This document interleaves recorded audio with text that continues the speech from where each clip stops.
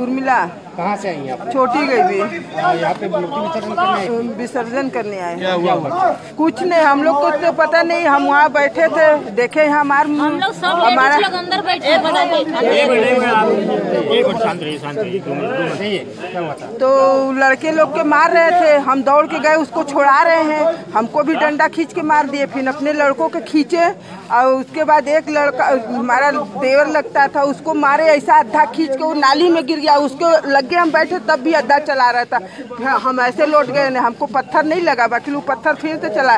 दूसरा आदमी बोल रहा है कि पत्थर लेडीज़ पर मत चलाओ, बाकी फिर भी वो चला रहा था। सर, ऊपर से शीशा सब निकाल निकाल के फेंक रहे थे। क्यों न बैठे सर धरने पर? बताइए सब बच्चे मरा रहे हैं औरत मरा रहे हैं। सब मरा रहे हैं हम लोग धरना नहीं। करें। सबको चोट आया है। मूर्ति जो विसर्जन उसकी सब उठा उठा उसको मारे थे उसी उठा के मारे थे। उसमें सर प्रशासन को कॉल किया गया है खुद कॉल किया गया है। कुछ नहीं प्रशासन था। प्रशासन नहीं था कोई प्रशासन नहीं था। कॉल किया गया कॉल भी नहीं रिसीव किया गया है। किसी का पता नहीं सर हमने कॉल किया है प्रशासन को बाकी कॉल किसी ने रिसीव नहीं किया। यहाँ तक बताया गया है कि ये क्या मेरी लक्ष्मी कुंड पे इतनी बबी बवाल तो भी फ़ोन काट काटा गया है। क्या नाम है मेरा छोटू प्रजापति कुछ कुंडों में प्रतिमाओं का विसर्जन होना था उसी के अंतर्गत लक्ष्मी कुंड एक पड़ता है। आ, उसमें भी प्रतिमाओं का विसर्जन क्रमवार तरीके से दो दिन से लगातार अनवरत रूप से चल रहा था। और इसी के क्रम में एक प्रतिमा लक्सा थाना क्षेत्र की और एक प्रतिमा चेतगंज की थी वो आकर के यहाँ पर खड़ी हुई थी।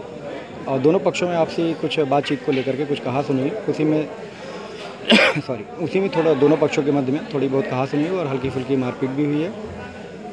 छु- हल्की फुल्की चोटें आई हैं उन लोगों को हॉस्पिटल भेज दिया गया है।